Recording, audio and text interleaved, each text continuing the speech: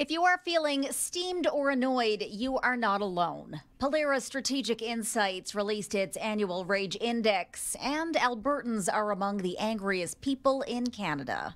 The study finds about 63% of Albertans feel annoyed or angry when they listen to news about the feds, the province, the economy, and their personal finances. Pollara also found exactly three in five Albertans feel negatively about Premier Danielle Smith's proposal to ditch the Canada Pension Plan, including half of Albertans 50 or older who feel very angry about the idea. Meanwhile, Pollara says one in two Canadians are very angry about the situation in Ukraine and the Middle East.